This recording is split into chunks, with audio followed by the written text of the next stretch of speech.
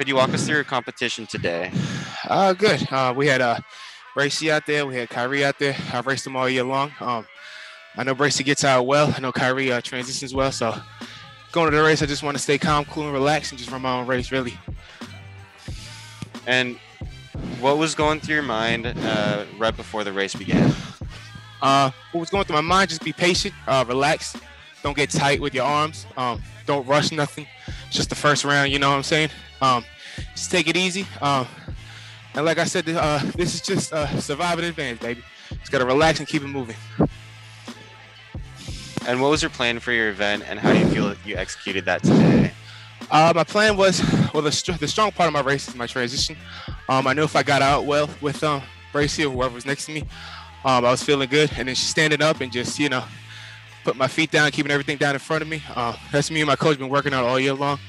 Um, yeah, man, I was I just felt good when I stood up and I just kept it calm, cool, and relaxed, and just leaned. You know, Bracy beat me out, but you know, on to the next race. Is there any specific parts of your transition that you've worked on that have helped your performance?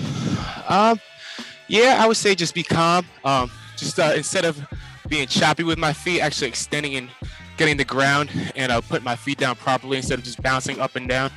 Uh, that's something we've been working on the past two weeks because uh, that's been my Achilles heel. um, but yeah, man, just staying calm, cool, and relaxed, put my feet down, and just like you know, keeping the calm, cool face. You know.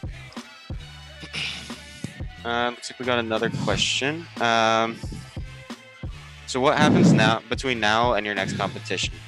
Uh, right now, right now, I'm probably gonna go back to the hotel, just relax. Um, probably just sit, ice bath it up, uh, catch the Normatec, and uh, I think uh, Nets played in that uh, anyway too. So catch uh, Nets in Milwaukee, really. Just get a good night's sleep, and then uh, just get ready for tomorrow. And did your coach tell you anything before your competition, and how did that help? Uh, my coach doesn't tell me that much. Uh, usually when he's quiet, that's that's usually when he's quiet, I'm ready to run. Um, he knows I look good. You know, he doesn't really say too much. He just says, "Hey, be aggressive, can relax, and calm down, take your time." And this is easy money. It's not like we've never been here before. So, you know, I've seen this competition all year. Uh, nobody's new to me racing wise. So, you know, just want to stay relaxed and run my race.